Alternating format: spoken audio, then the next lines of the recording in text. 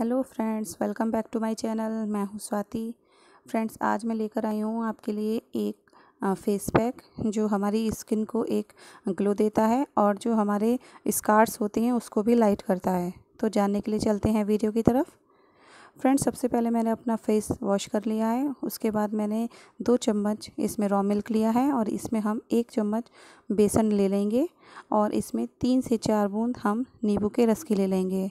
अगर आपकी skin dry है तो आप इसमें हनी भी ऐड कर सकती हैं।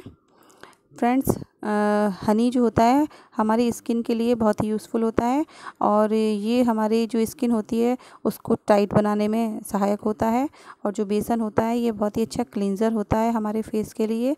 ये डीप क्लींज़र डीप क्लींस करता है हमारी स्किन को और लेमन जो होता है, वो लाइटन एंड ब्राइटन करता है हमारी स्किन टोन को और जो रॉ मिल्क होता है, वो हमारे चेहरे की इलास्टिसिटी जो होती है, उसको बना के रखता है।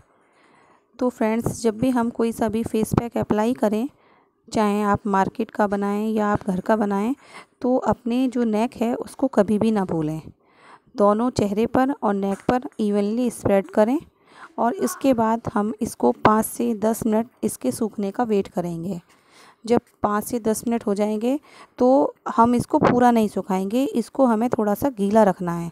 जब ये थोड़ा थोड़ा सा गीला रहेगा तो हम अपनी फिंगर टिप से इसको धीरे धीरे ऐसे ऐसे करके छुटाएँगे मल मल कर।